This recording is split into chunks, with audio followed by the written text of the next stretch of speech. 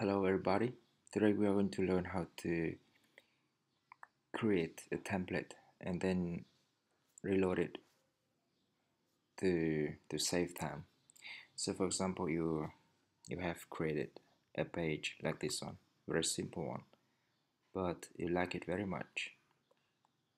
So what if you want to use this one as a pop-up or a widget? Well, it is very possible and very simple too. So what you need to do is to go to save here.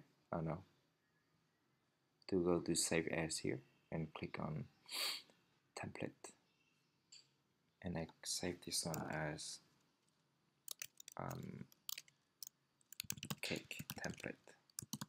Something like that. I save it.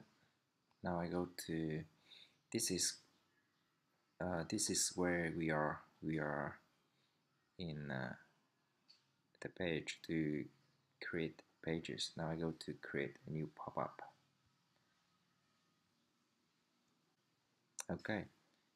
So I can uh, click on edit templates. And we have the cake template here and click on this link load. And as you can see now we have the template loaded and you can use it right away.